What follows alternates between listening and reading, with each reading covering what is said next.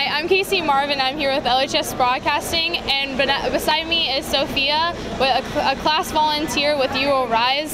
Sophia, can you tell me what You Will Rise is all about? You Will Rise is a project to do with bullying and how teens have to overcome bullying, and we really want to get the word out about bullying. We want people to be aware of it and to help others and to share their feelings because not just keeping it bottled inside isn't good. Uh, the website has millions and millions of artwork and poems and stories of kids that wanted to show their feelings. So we have all this artwork on this website and we needed to share.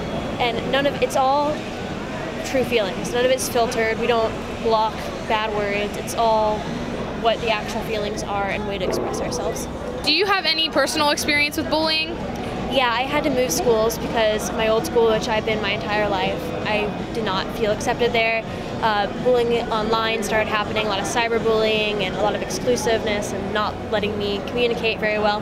So I had to move schools and now everything's great. All right. Well, thank you, Sophia.